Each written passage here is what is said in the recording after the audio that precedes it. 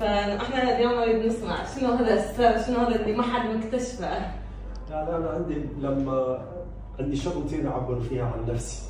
هي اللوحة واللون والموسيقى. من أعجز في وحدة من الاثنين أروح للثانية. حتى أرجع للأولى. وهذه مرافقتني طول عمري. وهذه كل المواد اللي أستخدمها هي من نشاره العود. اشتغل عليها بالتلوين واشتغل عليها بالمزج بالألوان. لذلك كل لوحة بها مجموعة طبقات.